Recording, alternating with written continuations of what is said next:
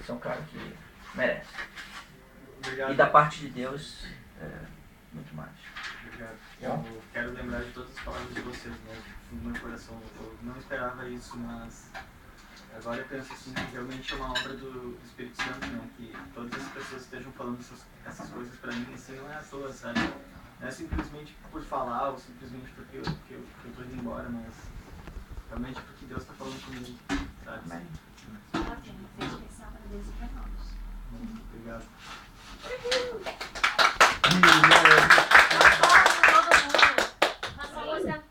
Deixa ele tocar música.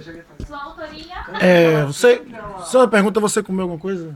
Comi, Ah, tá. Porque você ficou aí te comendo e você só, tipo. É,